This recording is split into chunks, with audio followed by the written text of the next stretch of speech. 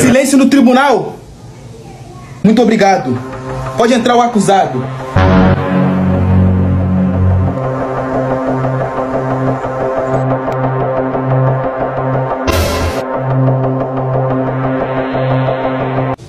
Ora, ora, o que temos aqui? Fernanda Augusto. Com licença, meritíssimo. O senhor por acaso conhece o, o acusado? Oh, se conheço. Esse aí é o meu ex-professor de matemática. Ah, graças a Deus. Assim que é bom que o senhor pode ajudar meu cliente e a gente resolve isso muito mais rápido. Pode ter certeza que você está em boas mãos. Será que eu estou em boas mãos? Eu, eu acho que não. Ah, mas é, é claro que está em boas mãos. Pode deixar que eu vou julgar você. Me traga as provas, por favor.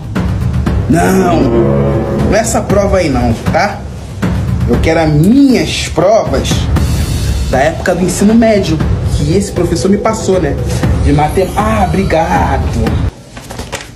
Aqui estão as minhas provas de matemática do ensino médio, ex-professor.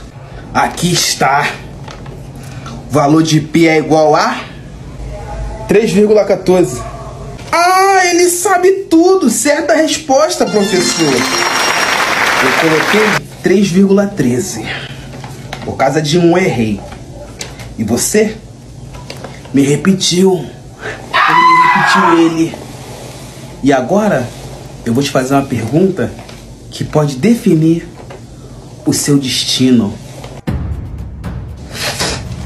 Professor, quem é a melhor atriz da Globo? Hum, melhor atriz da Globo. Nazaré. Errado. Jade Picon. Condenado.